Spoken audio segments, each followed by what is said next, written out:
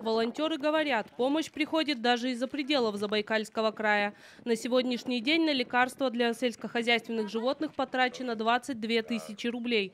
Большая часть из них отправлена в совхоз «Красная Ямалка», где сгорела практически полностью отара племрепродуктора. Из четырех сотен овец выжили около 80 Практически все животные получили ожоги.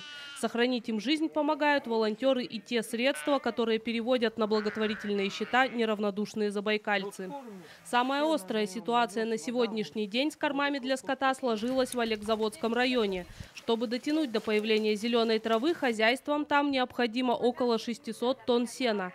Сегодня на средства, собранные волонтерами, закуплено чуть больше 22 тонн в тюках по 800 килограммов.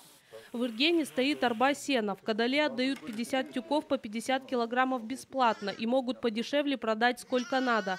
Но очень нужен транспорт, чтобы все это вывести, говорится в обращении на волонтерском ресурсе. Сбор продолжается. Пострадавшим животным жизненно необходимы лекарства. Уточнить список гуманитарной помощи можно у координаторов проекта по телефону 8 914 476 5809. Лекарства волонтеры принимают также на пунктах сбора добровольных пожертвований. Анна Хвостова, Анатолий Тюльнев. Время новостей.